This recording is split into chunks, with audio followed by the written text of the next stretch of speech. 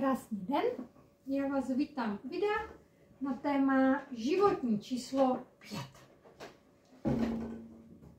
Pětka je snad nejdynamičtější číslo ze všech základních čísel.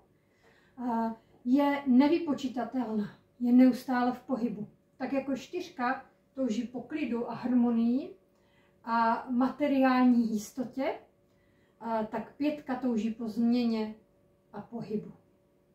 Její podstatou je proměna a transformace. A opravdu za život pětka se promění moc krát. A pokud to nedělá, tak ten život do těch změn jednoduše natlačí.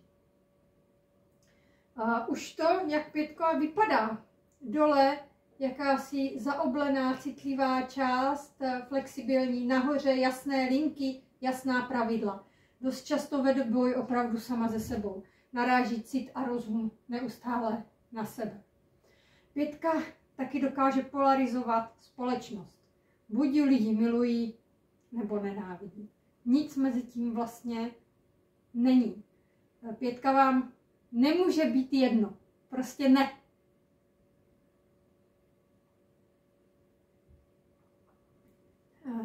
Většina pětek neustále bojuje. Bojuje buď s tím, co je venku, nebo sami za sebou.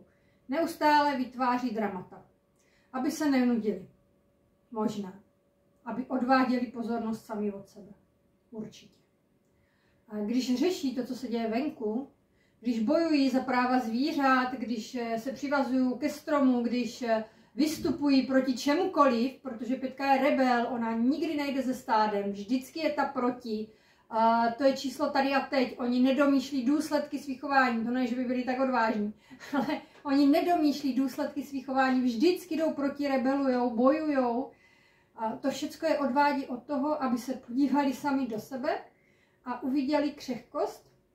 A protože pětka to je svoboda a kázeň, ono to vypadá, že to jde proti sobě, ale to je, to je bez kázně není svobody. Jo? Když máme svobodu, která není podpořená kážní, tak je to jen požitkářství, jen ego, jen prostě uh, protláčení sama sebe na úkor jiných. Když to, když je svoboda podpořená kázní, dostáváme se do vnitřní svobody člověka, zjistíme, že ta pětka musí mít vnitřní svobodu, musí si vytvořit vnitřní svobodu. Co to je vnitřní svoboda?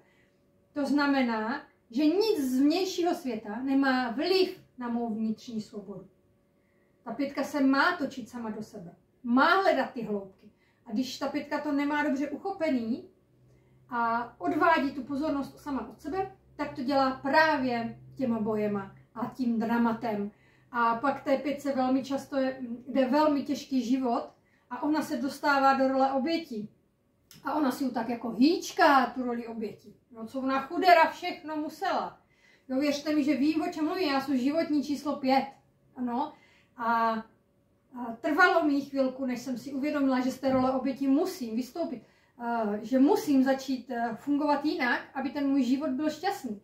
A opravdu ten můj život se změnil o 180 stupňů. To, to prostě začal mi nabízet ty hezké věci namísto těch hnusných. Takže tam opravdu je důležité jít sám do sebe.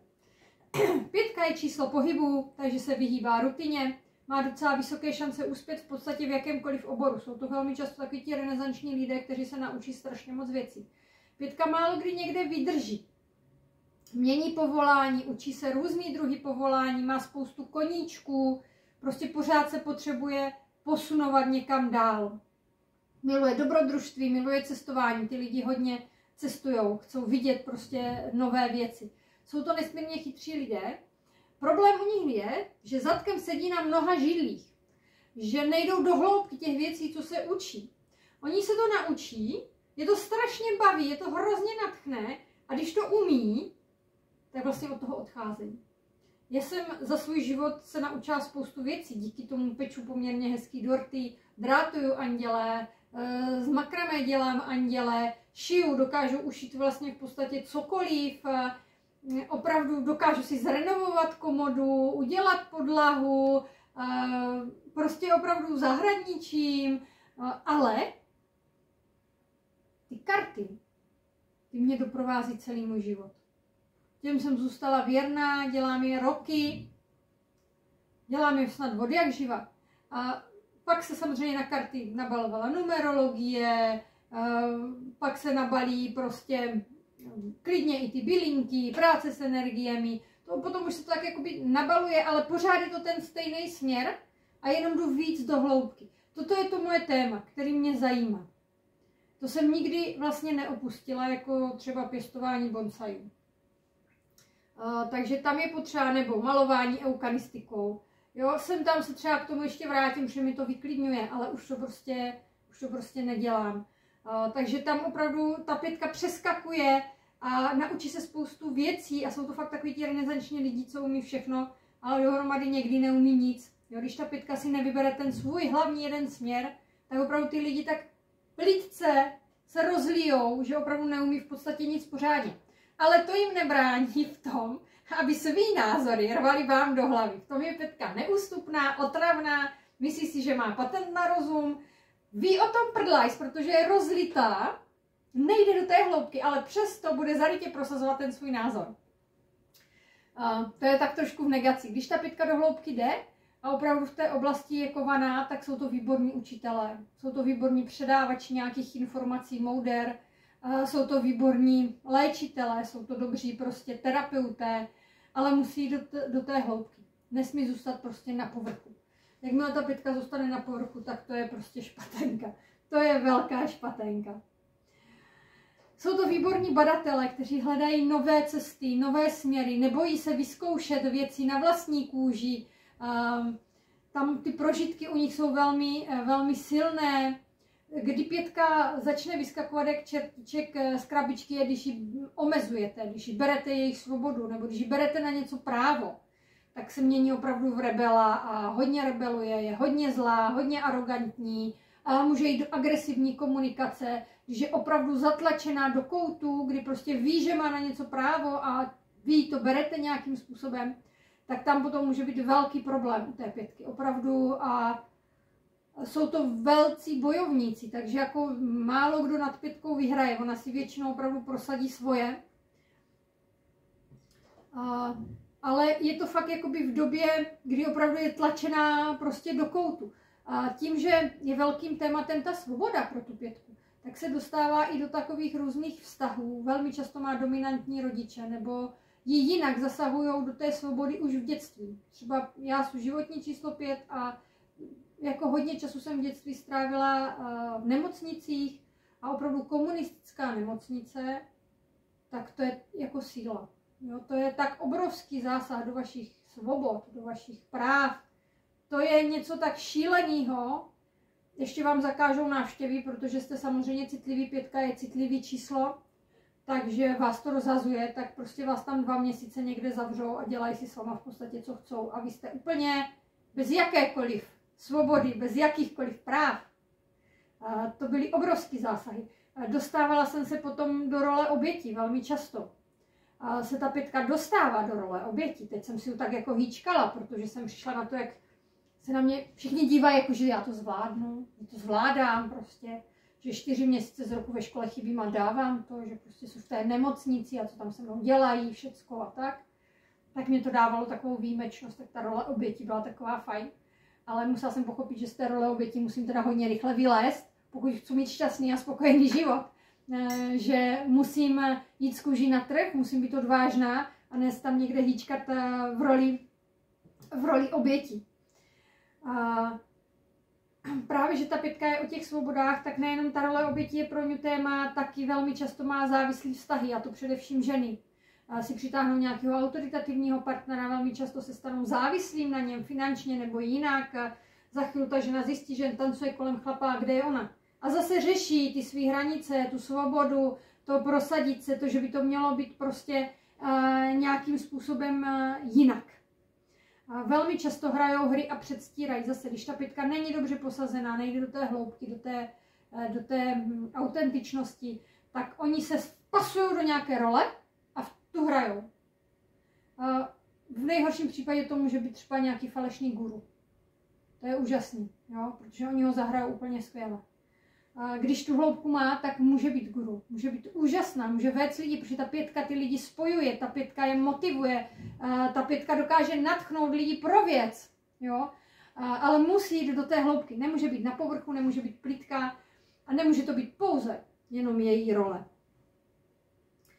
Tak úkolem pětky je právě dojít k té své vnitřní svobodě skrze kázeň. To je jednoznačný. Jinak to prostě ani nejde.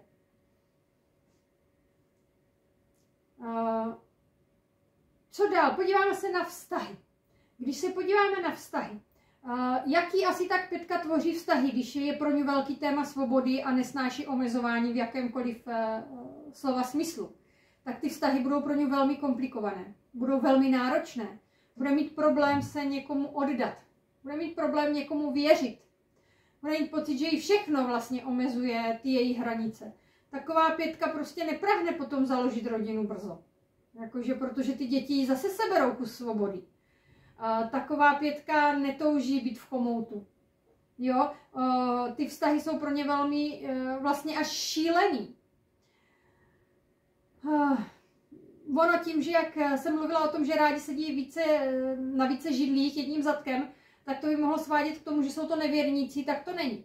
Pětka tím, že je tady a teď, tak je pro ně velmi těžký splétat síť nějakých eh, výmluv a nepravd a, a dělat si alibi, takže pro ně taková jakoby dlouhodobá nevěra určitě není. A určitě si nehledá milence, s kterým si bude někde tajně psát a mít nějaký dostaveníčka. To, to rozhodně Pětka nedělá, protože ona v tom neumí chodit. Pětka jednoduše, když je nespokojená ve vztahu, tak odejde a vymění ho. Takže uh, Především muži vystřídají hromadu partnerek, jsou hodně sexuálně, nechci říct nároživí nebo nároční, spíš experimentátoři, chcou vyzkoušet hodně věcí.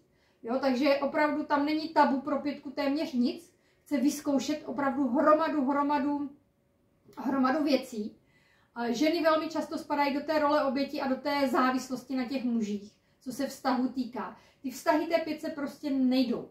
Ta pětka by si možná měla počkat na pořádný vztah, mm, protože ona potřebuje najít eh, tu svobodu v sobě, dát si tu kázeň, postavit se do své síly a pak teprve ocení vztah a pak může budovat vztah. I děti by ty pětkoví lidi měli mít později. Ale nejeden pětkový muž vám řekne třeba, že děti vůbec nechce, že po nich neprahne. A i ženy. Nebo žena řekne, víš co, já si tě vezmu, až budu třeba těhotná, prostě jinak tu svatbu nechci. Prostě svatba to je pro ně, bože, hrůza, jo? Takže uh, jenom ta myšlenka, že budu celý život s jedním mužem, s jednou ženou, je pro ně poměrně stresující. Takže netlačit do svatby, nechat jim tu volnost, hodně, hodně tolerance potřebují ti pětkoví eh, lidé eh, ve vztazích. Pětka se buď to vdává brzo v mladické nerozvážnosti, fakt jako, že se tam stane, že, že otěhotní ta holka, anebo pak pozdě. Jo, že většinou fakt jako pozdě.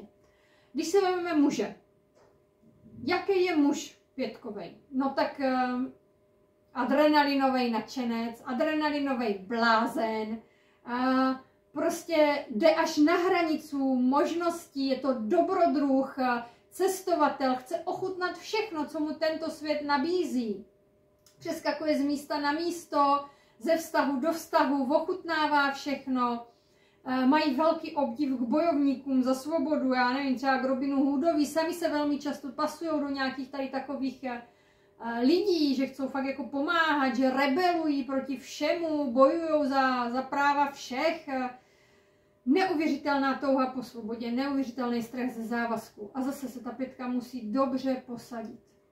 Jakmile se dobře neposadí, tak prostě jsou to jen lidi, kteří si, jsou požitkáři, kteří debužírují, mají sklony k závislostem, mají, eh, experimentují s drogama, se sexem, spíš ty lidi zneužívají, využívají pro své potřeby a pak jednoduše opouští, protože pětka takhle pálí mosty.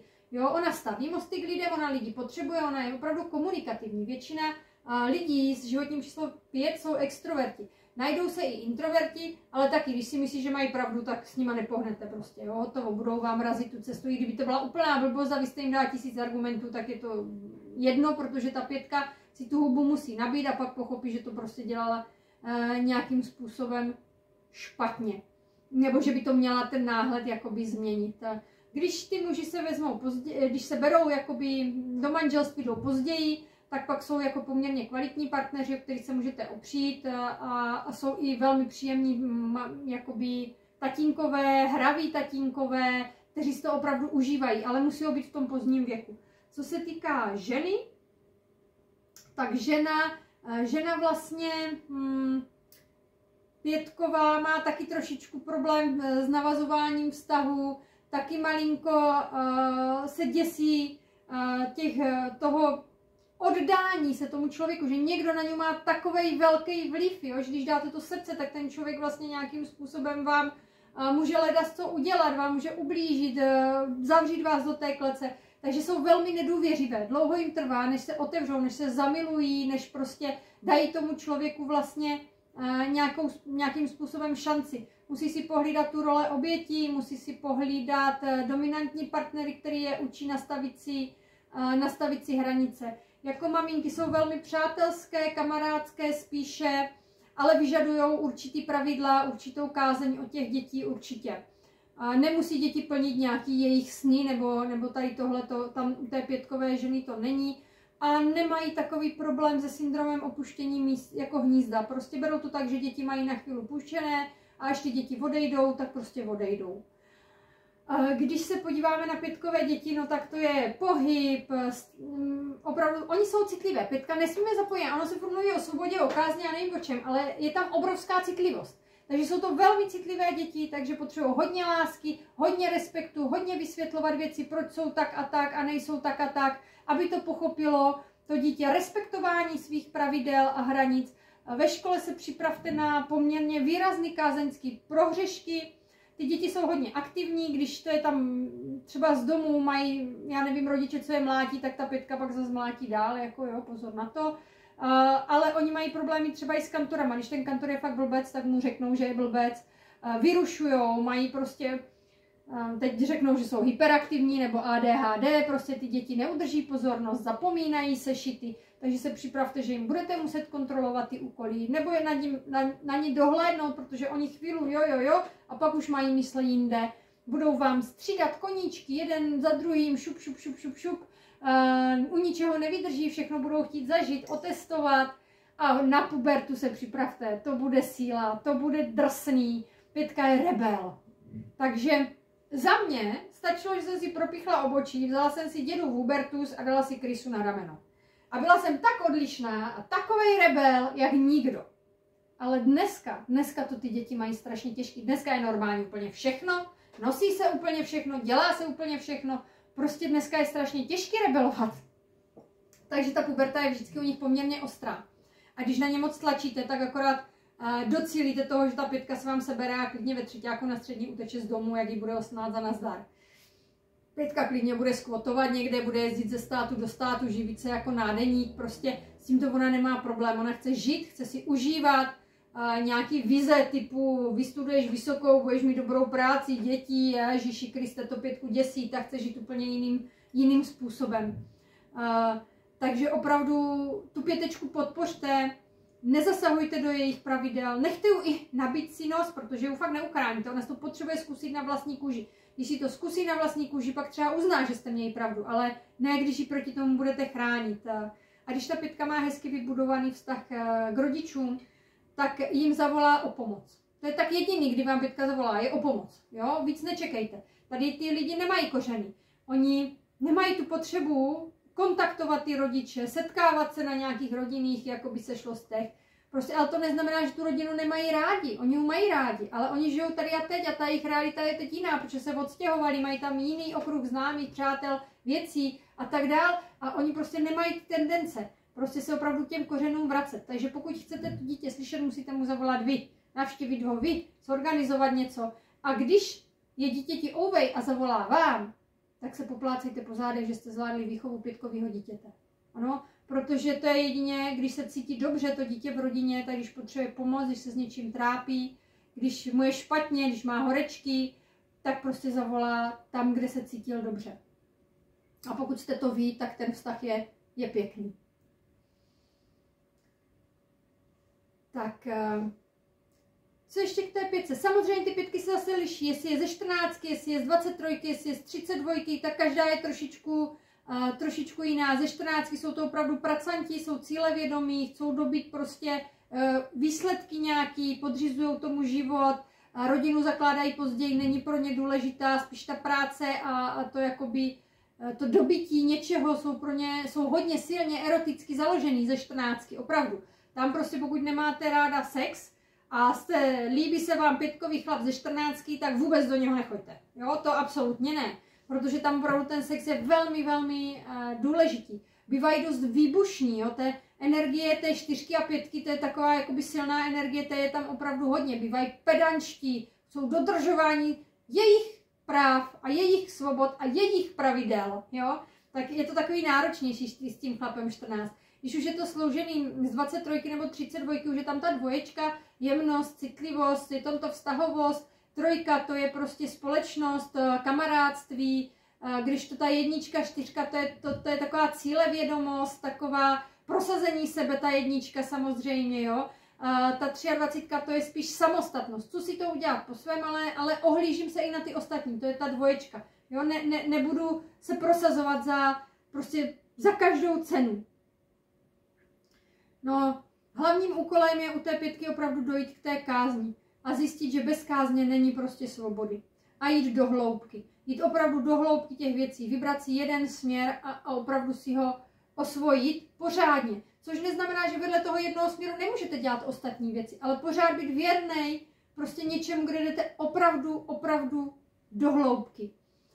Dát si pozor na jakékoliv závislosti, na drogy, můžeme být závislí i na adrenalinu, na tom, co odvádí naši pozornost od nás samotných, neprosazovat tu svou pravdu za každou cenu. Spíš využít u té pětky, že má opravdu příjemné komunikační dovednosti, umíme se s lidma domluvit, má pětka lidí ráda, má ráda svět, je to optimistický číslo, dívá se na svět opravdu optimisticky.